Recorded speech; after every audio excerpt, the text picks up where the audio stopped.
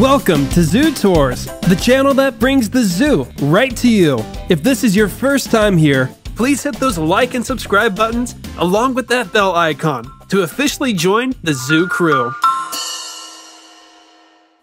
Before the opening of the International Orangutan Center, and with the addition of the Flights of Fancy bird exhibit, and with their brand new crocodilian station, the Indianapolis Zoo was almost strictly a biome centric park. In other words, each section focused on a different environment, no matter what continent the animals came from. So the zoo's opening year had forests, plains, deserts, and the oceans. Originally a galleria of the world's fresh and salt waters, after just less than 20 years as Indiana's only aquarium, the inside was overhauled to create a more modern display of the world's coastal, tropical, and frigid oceans. According to the designers, the Oceans exhibit explores the visitor's perceptions connections, and fears of the sea, while allowing guests to gain new insight to the myths and misconceptions of the underwater world.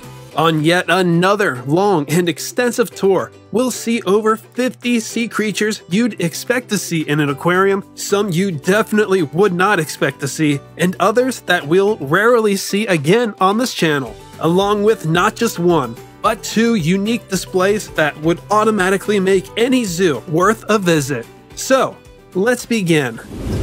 The very first animals of this episode are, you'll have to wait, and depending on what day you visit, you may actually have to wait to get in. But when you do, that Midwest environment is left behind and replaced with the smell and senses of seawater that creates this feeling of ascension into the ocean depths. The first impression of this darkly lit gallery is a long temperate environment with a school of look down fish, smooth dogfish sharks, which we'll get to later, and cow nose rays. We see them so much, but we never actually talk about them. Have you ever wondered how this species of eagle ray got its name? Well, ray comes from the fact that it's a ray.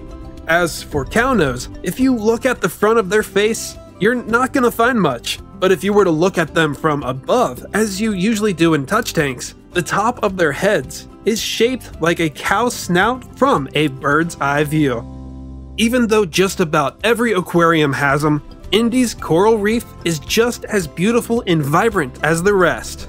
This represents the Red Sea and the Indo-Pacific. The latter is home to the richest reefs in the world in terms of biodiversity. Indianapolis's contains nearly 25 out of the thousands of reef fishes. On your next visit, try to find triggerfish, powder blue tangs, big nose unicorns, yellow banded angelfish, saddleback butterflies, bannerfish, and more that you can read below. Fit with bright stripes, flashy fins, and long spines, the lionfish is beautiful but deadly.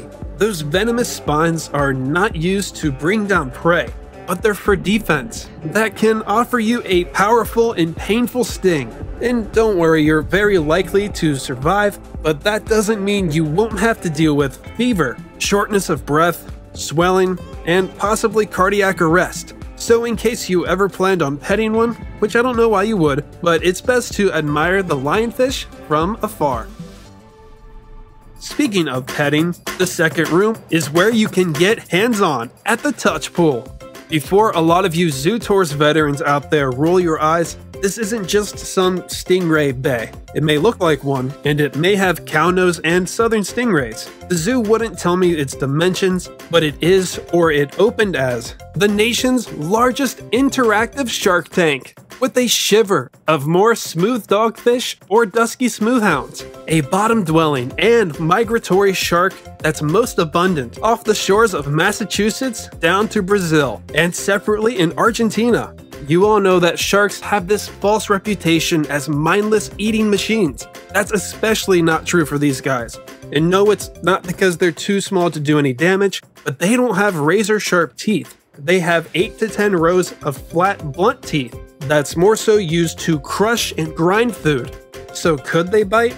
As every zookeeper would answer, anything with a mouth can bite. So would you live? Yeah. To ease the crowd's skepticism, to go side by side with the Shark Wall of Fame, The other wall shows how the media has infamously painted them as monsters. And to add to that, divers report that the smoothhound isn't aggressive. They're shy and avoid people, and that's not an easy thing to do when you're in a touch tank. So if they feel they've had enough, the sharks can go to the rest area where they can stay out of our reach. The third section is a hallway specifically designed for the little guys. On the right are eight separate tanks for various anemones, sea cucumbers, sea stars, and clownfish, showing off their symbiotic relationship with the anemone. The anemone provides them shelter and protection, while the clownfish provides their living home with nutrients from their own waste. In the middle of the room sits three columnar tanks that go to the ceiling, so you can actually surround more clownfish, yellow tangs, coral hogfish, angelfish, urchins, and one of the aquarium's newer additions, the pot-bellied seahorses.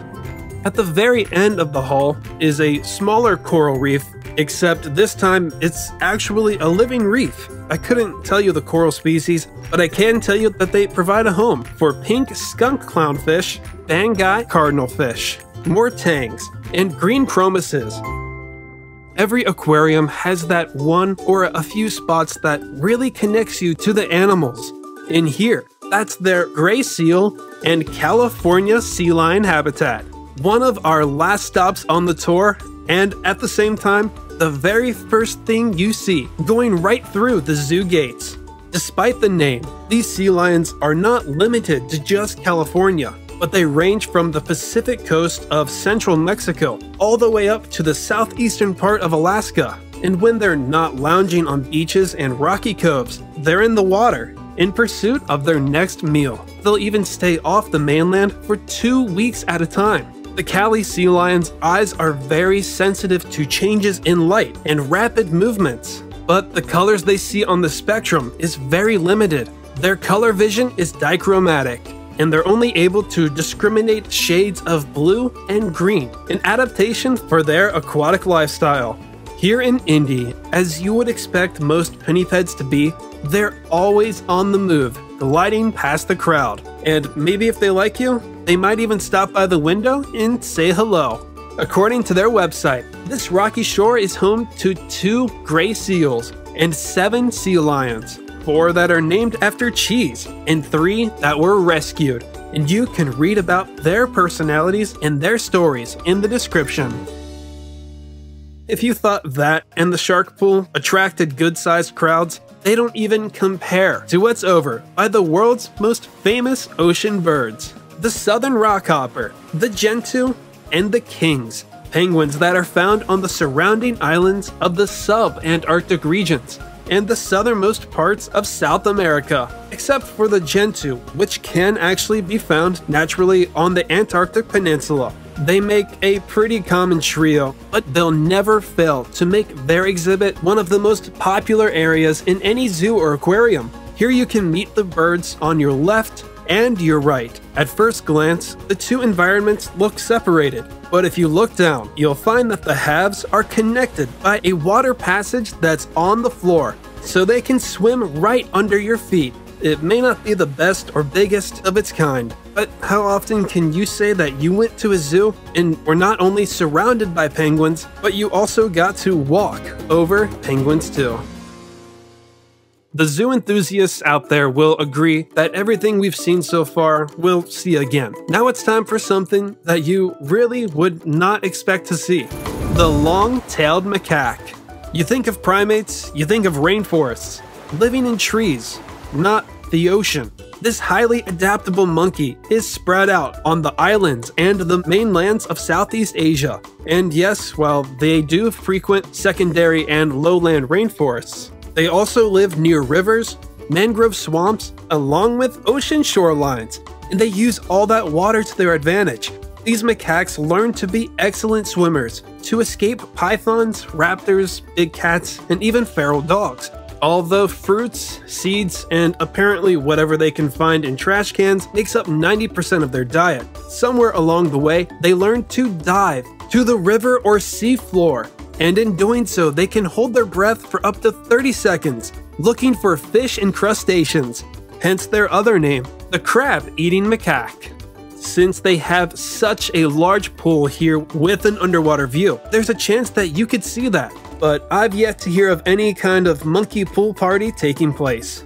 The habitat was built in the late 80s for polar bears, but in 2018 it was converted into a playhouse for the only long-tailed macaques in an AZA accredited zoo. And off the top of my head, I can't think of a better example of a zoo turning a less than adequate habitat into something incredible without changing much to it. This updated project is now called Sharing One World, and it's not just some random name. This monkey lives side by side with people in urban areas. So these monkeys are ambassadors to their wild counterparts to encourage Indiana residents to respect the wildlife that lives around them, just as the people of Southeast Asia are learning to do with the long-tailed macaque. So far, we've seen life from every one of the world's major oceans, except one. From the northern seas, the Pacific walrus. One of the world's largest walruses ever recorded was 3,700 pounds, so they're very fat, and for very good reason. Their blubber, which can be 6 inches thick, can make it difficult for a polar bear's claws and sharp teeth to penetrate. It also stores energy, keeps the walrus warm, obviously, and believe it or not, it increases their buoyancy when they swim.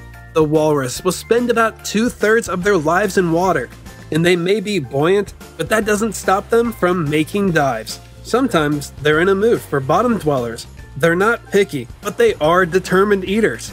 Some individuals have been recorded diving over 300 feet below the surface for a meal. This mustachioed pinniped has been an honorary Hoosier since the zoo opened. There's usually always two on display. As of 2021, you can say hello to Ginger, a female born at SeaWorld Orlando. The larger of the two is Aku, a male rescued as an orphan in Alaska. He was found by gold miners on the deck of a barge, hence his name, which means the stern of a boat. If you ever run into a walrus, consider yourself lucky. Indianapolis is only one of three places in America with a walrus, and it will be a long time before we ever see one again on our tours. Now it's time to head to this episode's grand finale. This building opened with the zoo in 88, but in 2005, they added the world's first underwater dolphin dome. I've taken you under the surface dozens of times in many, many different ways, but this gives a whole new meaning to the term underwater view. The top of the dome sits 5 feet below the water, and the structure is suspended 10 feet from the bottom of the pool, where the cetaceans can swim under.